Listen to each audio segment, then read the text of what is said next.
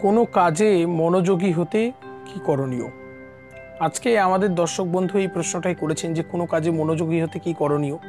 আমরা আজকে তার বলাই কথার উপর দাঁড়িয়ে আজকে আলোচনায় প্রবেশ করার চেষ্টা করব। প্রথম কথা যে যে কাজে আপনি মনোযোগী হতে চাইছেন, মনে রাখবেন সেই কাজটাকে আগে ভালোবাসতে জানতে হবে।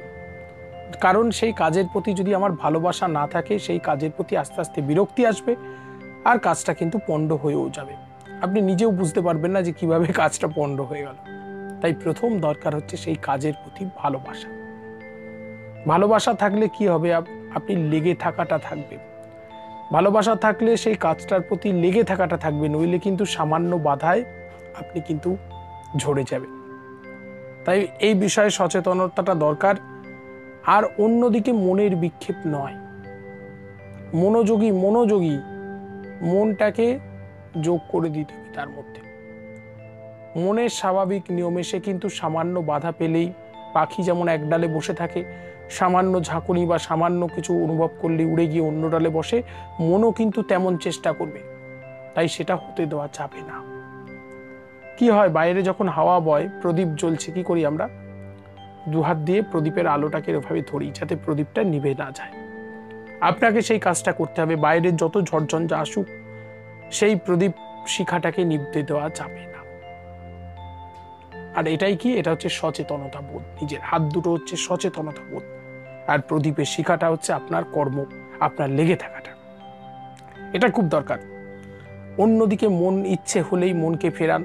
একদম সে কথা চিন্তাই করবেন না। আর কীভাবে চিন্তা করবেন না?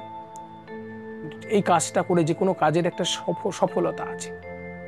সেই সাফল্যের কথাগুলো ভাবুন। সেই ইমাজিন করুন, শুধু সেই কল্পনা করুন সেই সাফল্যের কথাগুলো।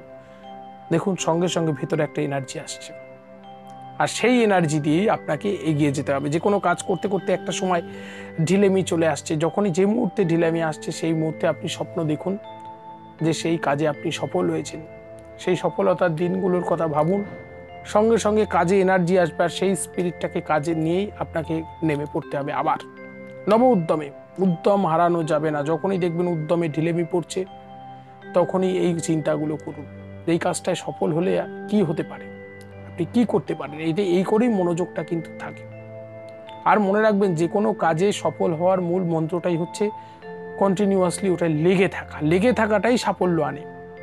আর এডাল সেডাল ঘুরলে কিন্তু সাফল্য আসবে না। শেষে কি হবে? কোনো দিকেই আপনার মনোযোগ আর শেষে এমন একটা পরিস্থিতি তৈরি হয়ে যাবে, তখন আর মনোযোগী হওয়ার ইচ্ছেটাও থাকবে না। তাই সে বিষয়ে সতর্কতার সঙ্গে এগোতে হবে। এটুকুই বলব। আবারও আলোচনা থাকবে এই বিষয়ে। সঙ্গে থাকুন, স্বস্তি বার্তার সঙ্গে থাকুন।